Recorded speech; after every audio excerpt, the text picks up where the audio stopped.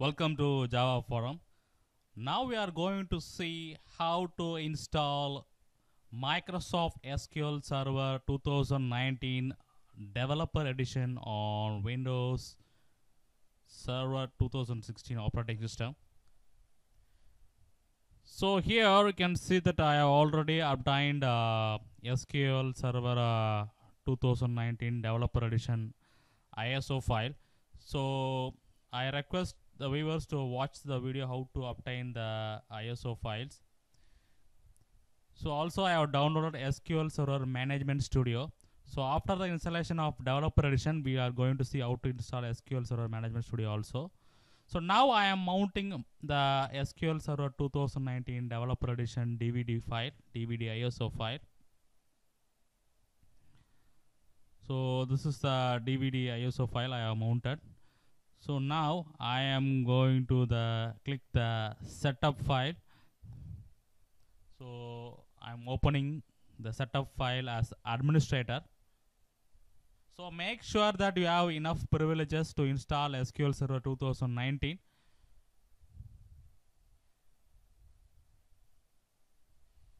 So setup is uh, starting now. So SQL Server 2019 has uh, lots of features. So this is the installation screen. So you can uh, see a lot of steps are there.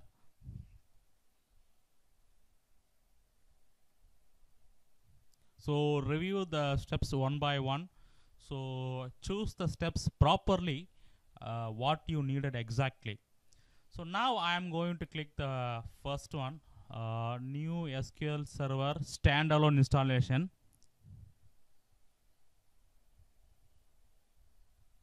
So this will install the SQL Server uh, database.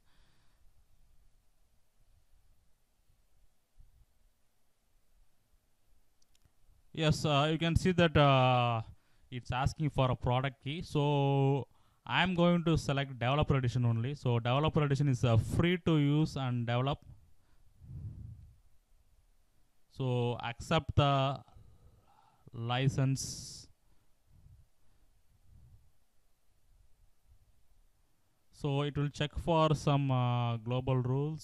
So after that, if you want to check uh, Microsoft updates, you check in the Microsoft updates. Product updates means it will upgrade the update the SQL Server instance. So next step is install setup files.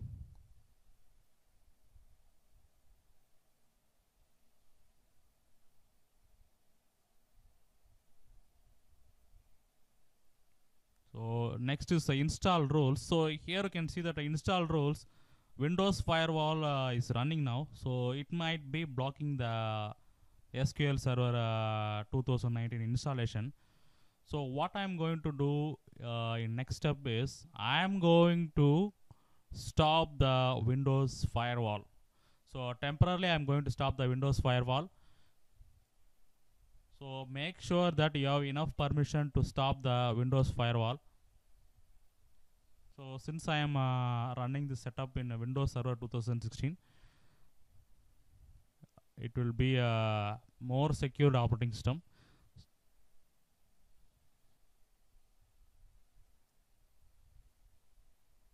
So now I am going to turn off the Windows firewall uh, temporarily. So until this uh, installation completed, uh, firewall will be turned off. So make sure that you have enough privileges to turn off the firewall. So now I'm rerunning the rule once again. Yes, rules is passed. So now I'm going to select the features.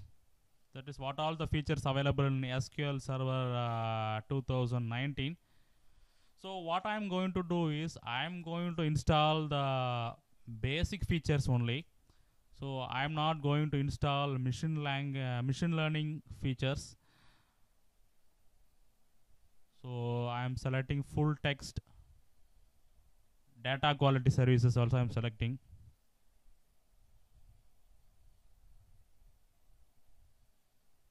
SQL client, master data services. So distributed registry client. So all the client tools I am selecting. Uh, integration services also I am selecting. So data quality client also I am selecting. So I am not going to install uh, machine learning uh, features. So except machine learning and polybase features, I am installing the basic features uh, required by uh, developer.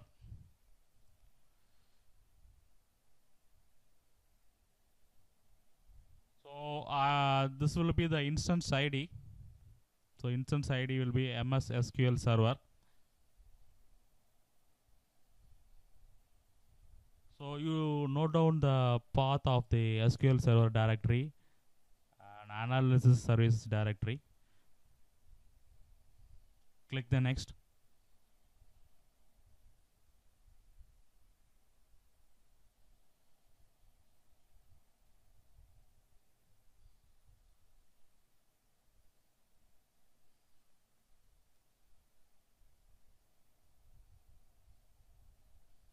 So click the let it be use this SQL server as a standalone polybase enabled instance. Click the next button.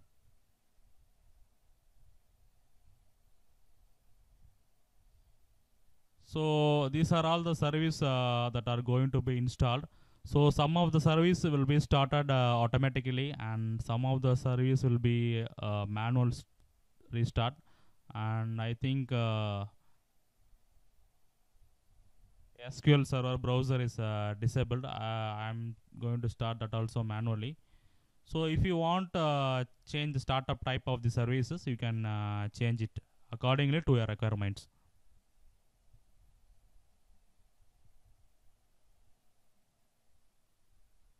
So click the next button.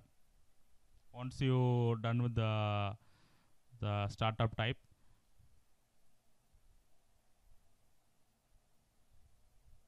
So next is the important part, uh, database engine configuration. So you need to add one uh, username. So I am going to uh, select uh, mixed mode authentication. So SQL Server authentication and uh, Windows authentication. So if you select a mixed mode authentication means uh, you need to give one password for the default SQL uh, server administrator account. So default SQL server administrator name is SA and I am giving the password for the default administrator account SA.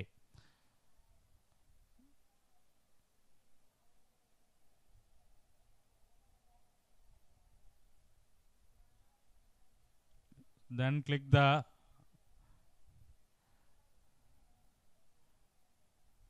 yeah, it's asking uh, one more thing. So I'm going to add add current user.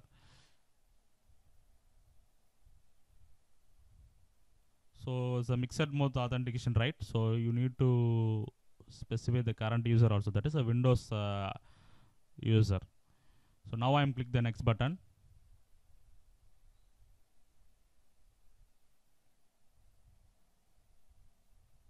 So analysis service configuration, it be a tabular mode.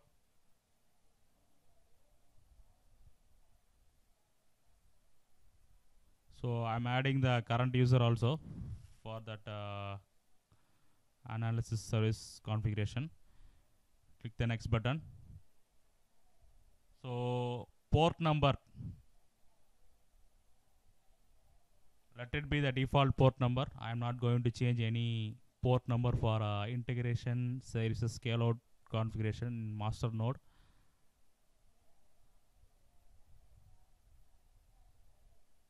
So click the next button.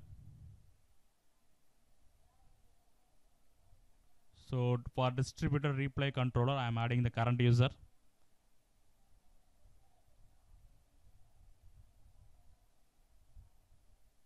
I'm next button. I'm giving uh, some name to the controller name for uh, distributed replay client.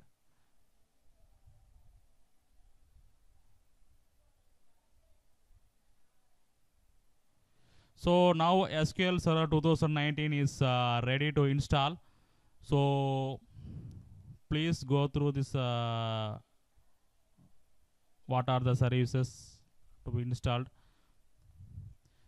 So now installation is uh, started.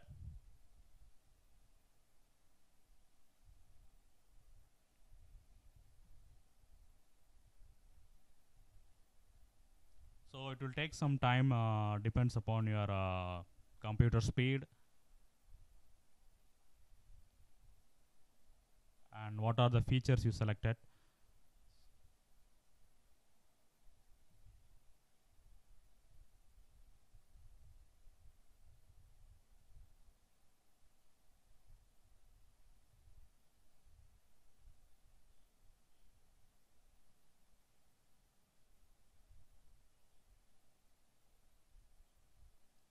So all the features which i have selected uh, had been installation successfully. So you can see the summary report here.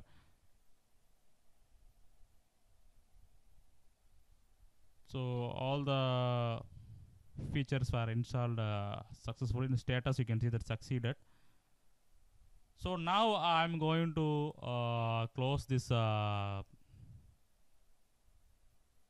installation screen of uh, sql server 2019 so as i have installed the basic features so next step is i'm going to install uh, sql server management studio.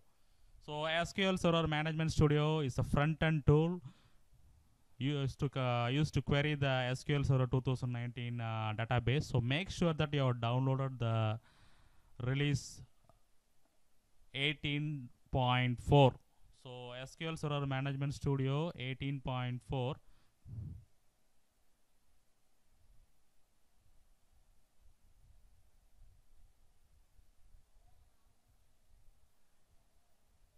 so sql server uh, management studio 18.4 only can connect to sql server 2019 uh, database so if you already installed uh, SQL Server Management Studio means uh, make sure that you have upgraded to release 18.4. So now I am uh, started the installation of SQL Server Management Studio.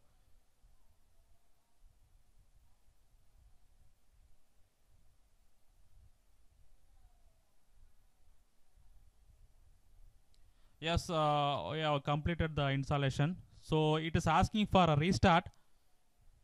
So sometimes it might not ask for restart. So in that case uh, it will be okay. But uh, in this case it's asking for a restart. So i am going to restart my windows server 2016 machine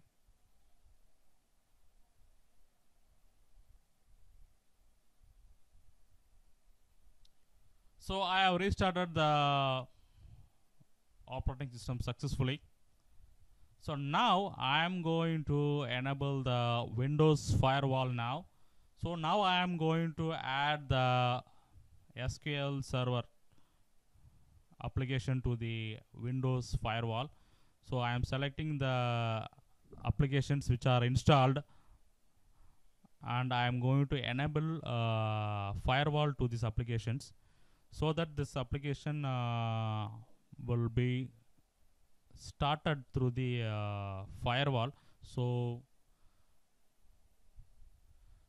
I am selecting one more. So I am going to the Microsoft SQL Server 2019 uh, installation directory now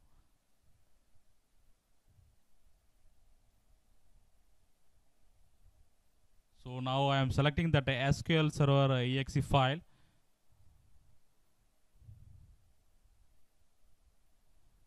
Yes.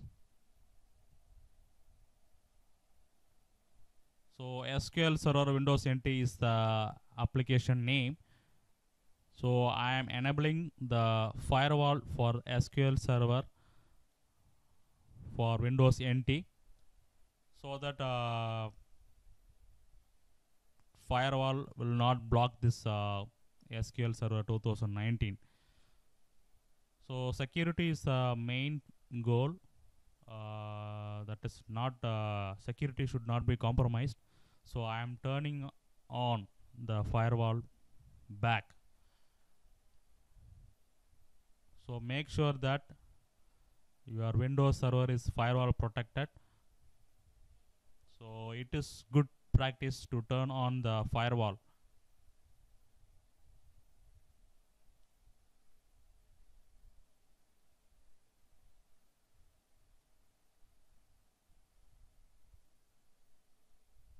So now I'm going to start the SQL Server Management Studio. So now let us see how to connect SQL Server 2019 database instance and how to create a SQL Server database and how to create tables on that uh, newly created database. So this is a startup screen. So it will ask for uh, server name and authentication. So authentication i am selecting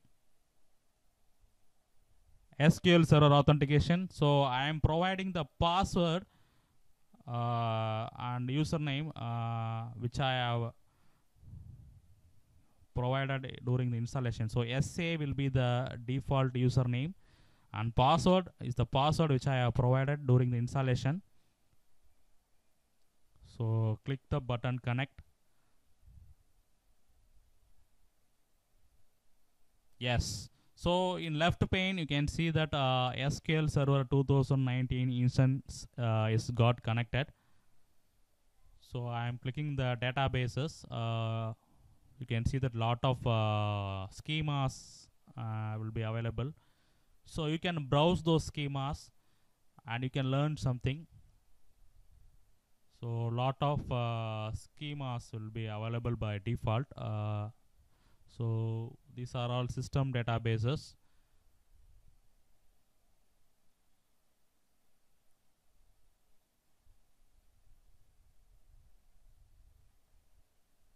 So now uh,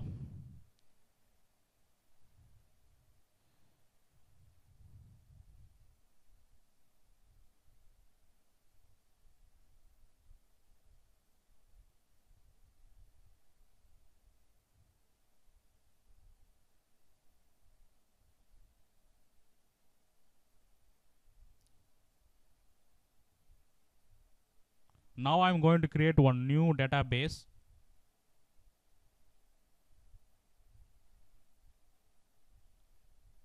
So uh, this will ask for a database name.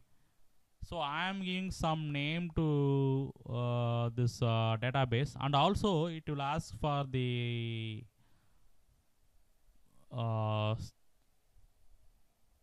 initial size of the database to be get allocated so initial size let it be 8 MB itself. So I am giving some name to this uh, database. Uh, I am giving database name as student database. And uh, rest of the settings will be the default settings. So I am creating the database called student. Yes. You can see that student database is got uh, created now. So I am expanding the tables in student database. So you can see that some system tables file tables external tables are there. So now i'm going to new i'm going to create new table. So right click the tables new table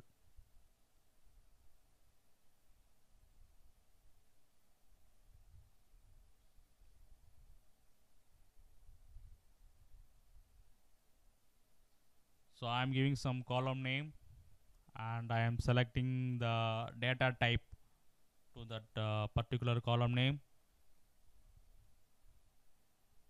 So lots of data types are available uh, from drop down. So sql server management studio uh, will be very very useful for uh, beginners to create the table so it's a graphical user interface from uh, microsoft. So microsoft is uh, very very uh, popular for this uh, graphical user interface only. So by uh, graphical user interface itself you can create the table. So no need to write the query. So this will be useful for uh, beginners so I have created the table. I am going to save the table.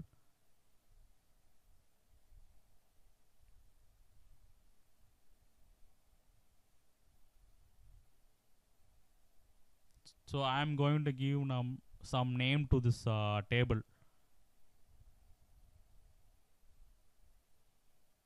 So student underscore details uh, is uh, table name I am giving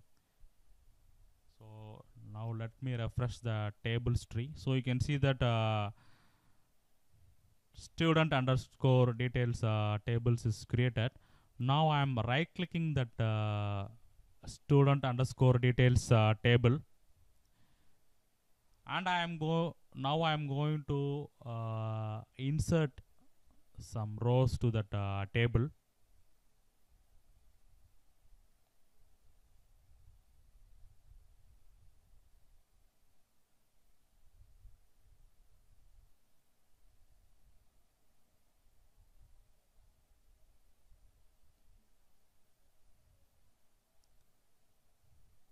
so script table as insert to so this will generate the insert query.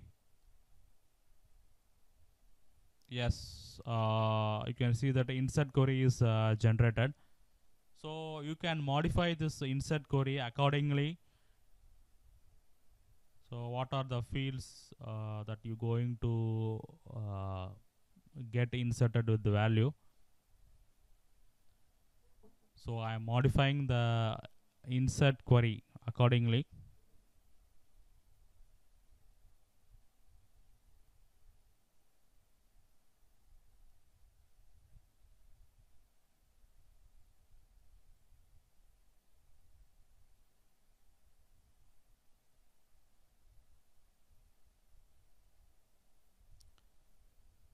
Yes I have modified the insert query. Now I am going to execute that insert query yes uh, I can able to insert one row to that uh, newly created uh, student underscore details table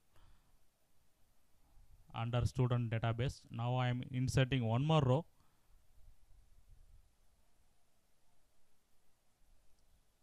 So next step is I am going to select the values uh, which I have inserted now. So I am uh, refreshing the table and once again I am going to execute the query. Script table as select.